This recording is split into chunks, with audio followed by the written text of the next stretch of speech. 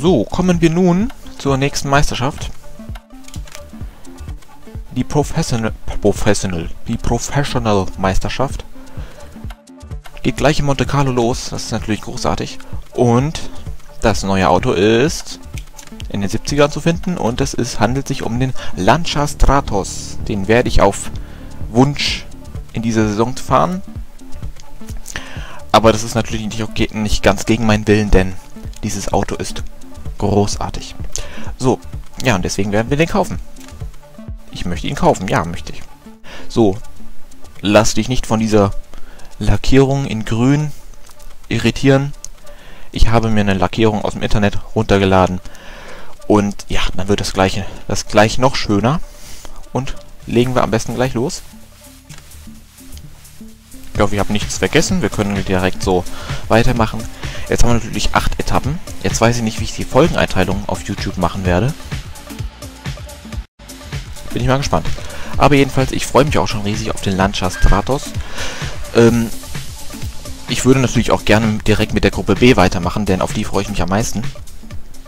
Aber der Lancia Stratos, wenn sich den jemand wünscht, sage ich natürlich nicht nein, denn ist auch super. Ein super Auto. So. Und wir testen nicht lange rum, wir fahren einfach los, denn Monte Carlo kenne ich doch so ein bisschen.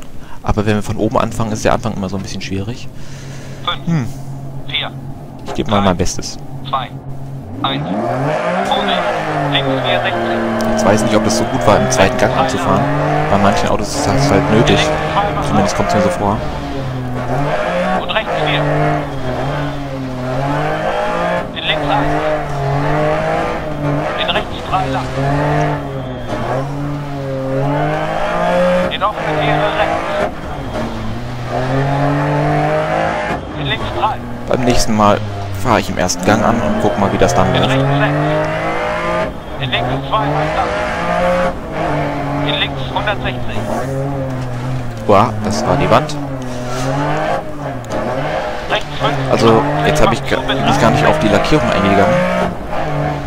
Es war natürlich die Lackierung mit diesem Alitalia ähm, Schriftzug, den man auch in den 70ern dementsprechend bei den berühmtesten Lancia Stratos gesehen hat. Und ja, ich habe mir für jedes Auto eine authentische Lackierung rausgesucht damit das Spiel noch gleich viel mehr Spaß macht, was ja ohnehin schon ein großartiges Spiel ist. Ich rede wieder zu viel, ich muss schweigen, sonst mache ich Fehler.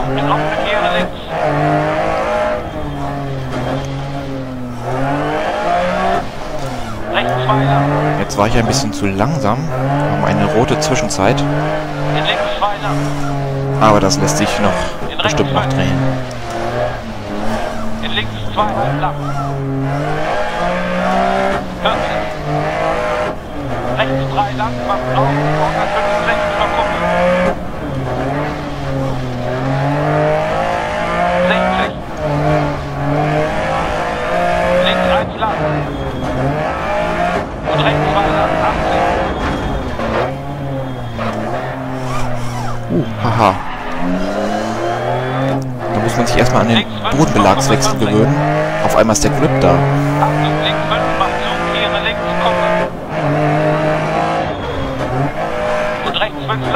Ah, ich habe die Kurve vergessen. Nein. Ich setze mich lieber gleich zurück, das, äh, sonst wird das nichts. Ärgerlich. Ich war jetzt ein bisschen abgelenkt. Hätte ich dem Kollegen zugehört, dann wäre das wahrscheinlich nicht passiert.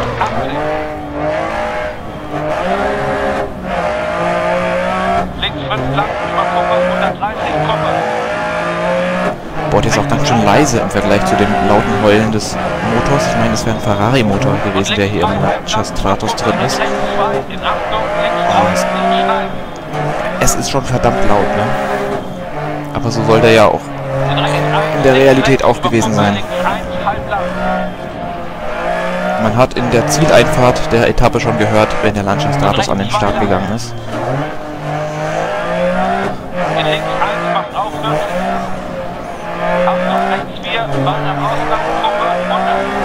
Alle Zwischenzeiten sind rot, das ist aber schade. Abfahrten auch immer besonders schwierig, weil man da eben so vorsichtig mit dem Bremsen sein muss, denn nicht nur muss man früher bremsen, nein, man muss auch noch ähm, aufpassen, dass der nicht blockiert und dass man dann übers Ziel hinausrutscht. 190 durch Senke, lange Kuppe. Bis. Naja. Gut, das lag jetzt aber an dem Abschuss, dass wir jetzt so einen großen Rückstand, zumindest ein Teil der, des Rückstands lag an dem Abflug, den wir da hingelegt haben. Hm, vielleicht können wir da ja noch was daran ändern. Die Abfahrten sind auch ehrlich gesagt nicht so sehr meine Stärke, aber ich mag Monte Carlo wirklich sehr. Deswegen machen wir unbedingt weiter.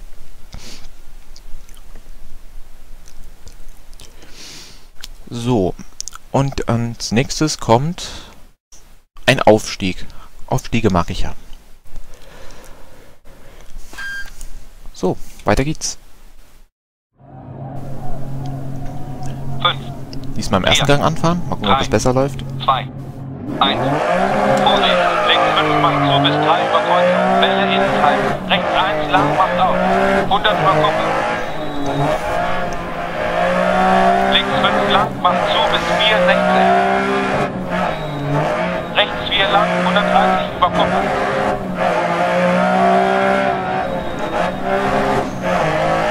Rechts 5 lang, 130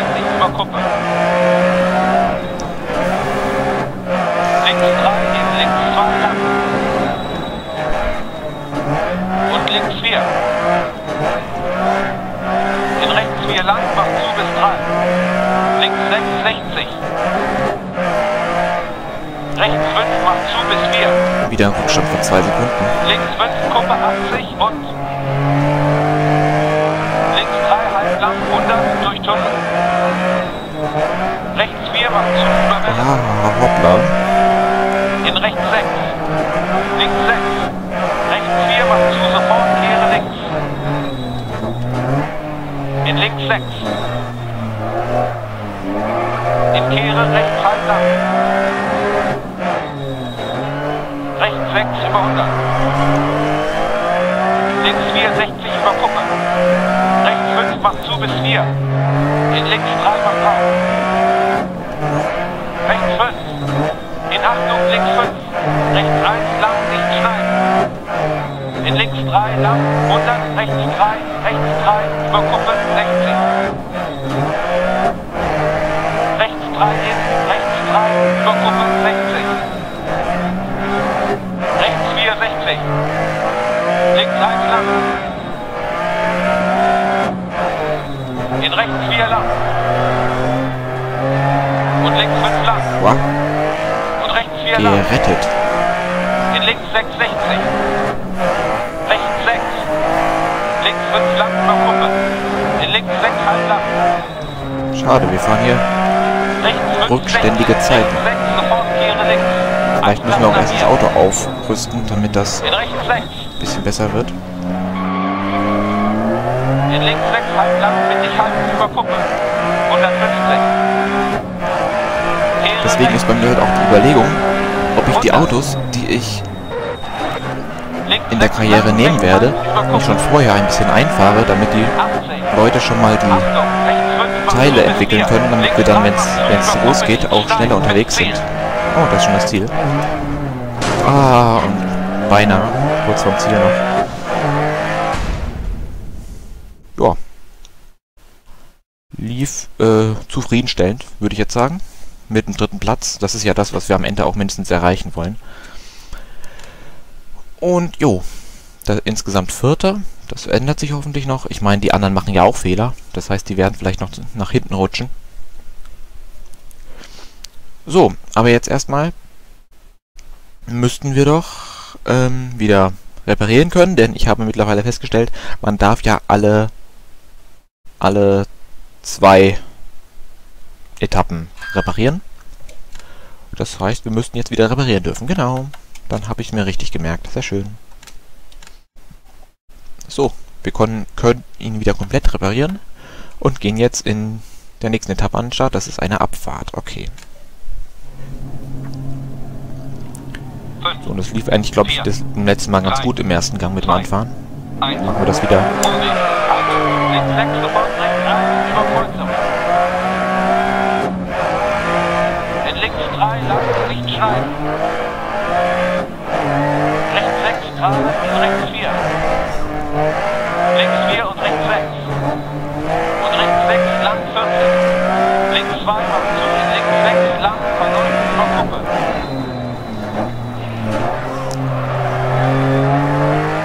Und Gruppe rechts 5 lang. Und links 6 230 Gruppe. Achtung, Grenze 60 Kehre links.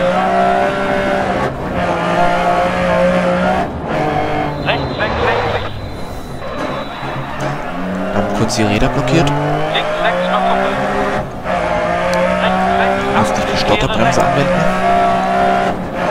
Hat aber noch gereicht. Da haben sie schon wieder blockiert. Das ist eben die Gefahr beim Bergabfahren. Da blockieren die Räder halt schneller. Hoppala, das war die Wand. Achtung, rechts 6 über Kuppe bergab, rechts 3 lang. Rechts 6 lang über Kuppe. Und Achtung, links 5 Ach, nö. Das muss nicht sein. Jetzt aber schnell einen Rückwärtsgang. Ach, Mann, wir können nicht mal einen Zug wenden. Schade. in sofort rechts 3 und rechts 3. In links 2 macht zu, 100 über lange Kuppe. Links 4 lang, in links 6.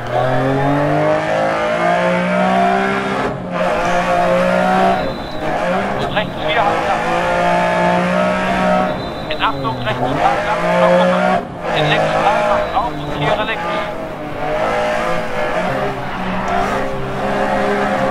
In rechts 3 lang bergab. In Achtung links 4 lang, in Kehre rechts. 40 über Kuppe. Rechts 4, in links 4 halb lang. In rechts 5 über Kuppe, macht zu bis 3. In links 3. In Achtung rechts 6, sofort Kehre links. Links 6, 40. Rechts 6, lang über Kuppe. Und links 2. In rechts 1 lang. Und Achtung, links 4. In Kehre rechts lang. Und Kuppe. Links 3 lang, in rechts 6.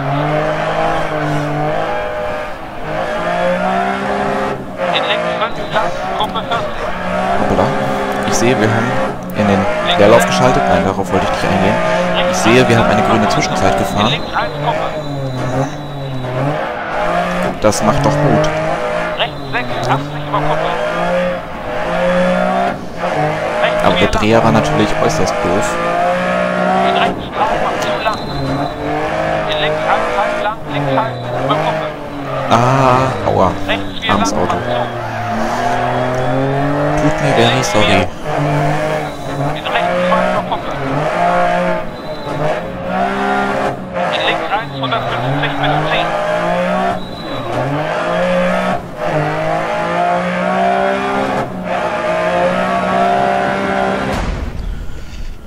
Hm, wenn der Dreher nicht gewesen wäre, ne? Dann wäre das richtig schön geworden. Ach, Mano. Naja. Vierter Platz ist nah am dritten Platz, den wir erreichen wollen. Wie gesagt, vielleicht macht anderer einen Fehler und wir rutschen nach vorne.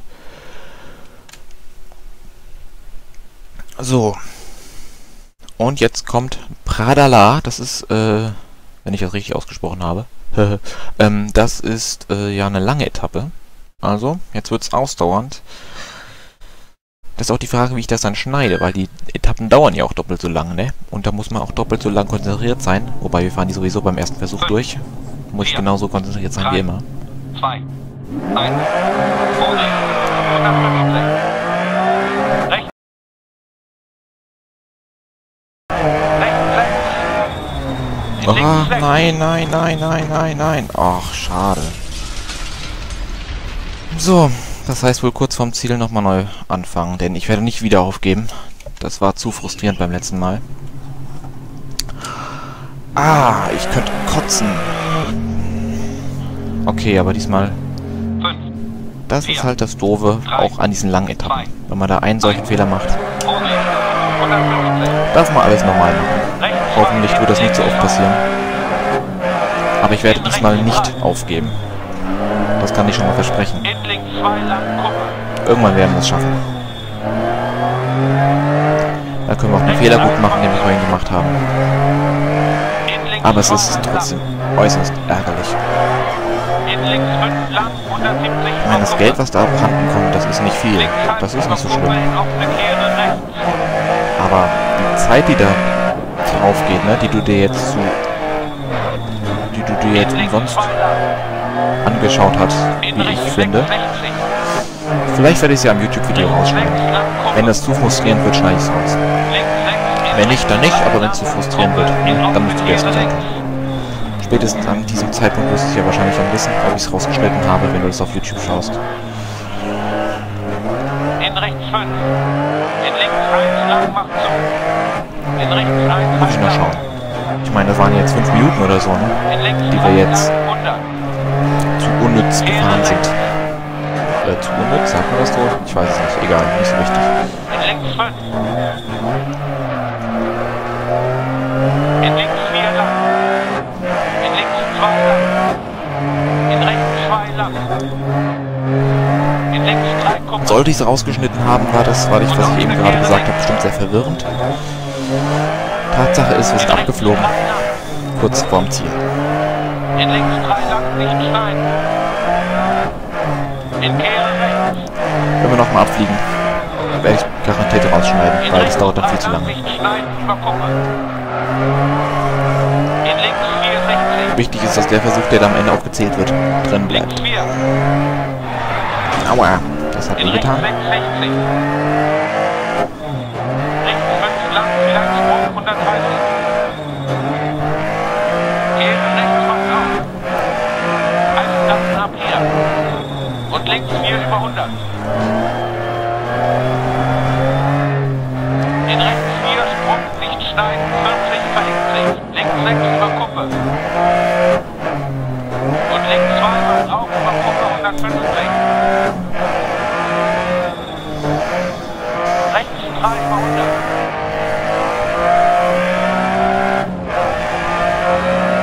In Kehre links. 60. Links 6. Und rechts 6 über Kuppe 40. Achtung, Kuppe links 6. Sofort Kehre rechts. 150 über Kuppe. So, dann wieder der Räder blockiert. Passiert bei Bergauf nicht ganz so oft, aber es passiert auch. Links 5 lang. Und rechts 6 lang in offene Kehre rechts.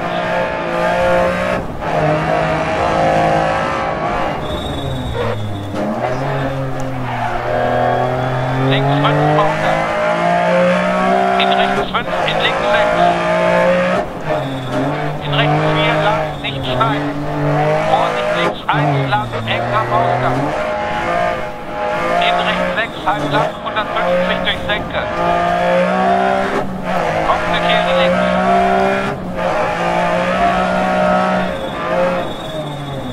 In rechts 5, halb lang, 130. Wird wahrscheinlich darauf hinauslaufen, dass ich den Fehlversuch rausschneide. Bin grad so am Überlegen. Fünf Minuten und dann scheitern ist einfach zu Links 4, frustrierend. links 4 verengt sich 100. Da würde ich mir als Zuschauer wahrscheinlich auch denken, ja, warum habe ich mir das jetzt angeschaut? Links 4, halb lang. Das wäre mal so eine interessante Frage. Soll ich Fehlversuche drin lassen, egal wie lange sie dauern, oder ist das zu frustrierend, wenn ich, wenn man sich da minutenlang was anschaut und der dann am Ende abfliegt und ich nochmal machen muss? Und links 1 halb lang. Und rechts 4. Und links 2 halb lang. In rechts 4 lang nicht schneiden am Ausgang.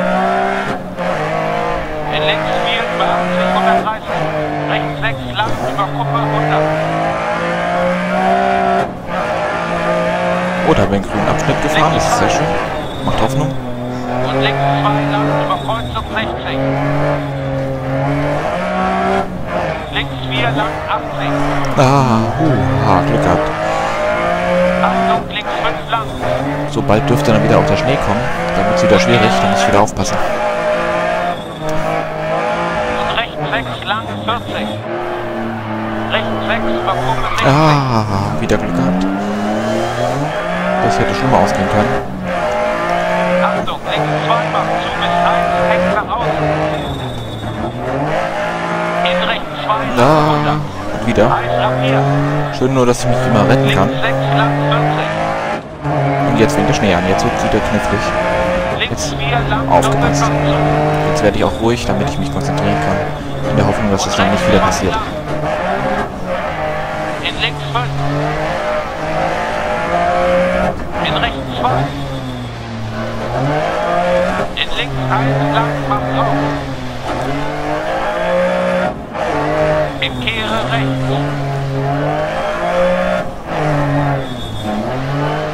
In links 1 macht auf und macht zu 60. Ich weiß doch gar nicht, in welcher Kurve das passiert ist. Kehre rechts. Das war aber eine von denen hier. Vielleicht die hier, die jetzt folgt. Wenn es nochmal passiert, wissen wir In links aber. 1 lang.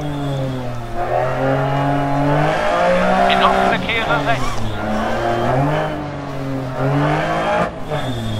In links 5 halb lang über Hunger. In links 2 macht zu bis 1 macht auf. In rechts 1 lang 40. Links 2 macht auf über 80.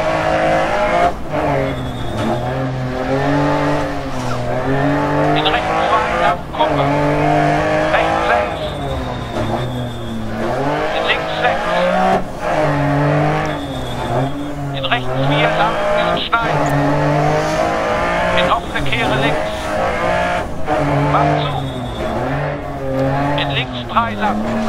Ah, nein, bitte nicht. In rechts 1. In links 3. In rechts 2 macht zu bis 1. Hui, knapp am parkenden Volvo vorbei. In links 4 lang 40. Rechts 4 Und da das 10. Dorf.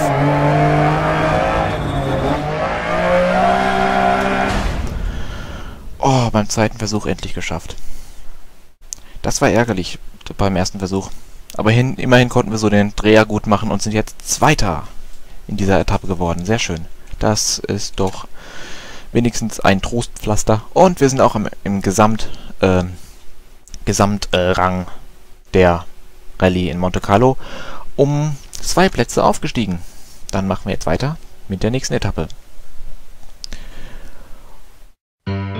Danke fürs Ertragen des Videos für heute. Kannst du mir bitte sagen, ob dich das Filmchen freut? Daumen hoch und runter, die stehen dafür bereit und Kommis machen munter, die lese ich jederzeit. Kommst du zu der Entscheidung, du willst da mehr von sehen, dann kannst du zur Beschreibung und zum Abo-Button gehen. Und fandest du es scheiße, war's deine Wahl der Qual. Ansonsten gute Reise und bis zum nächsten Mal.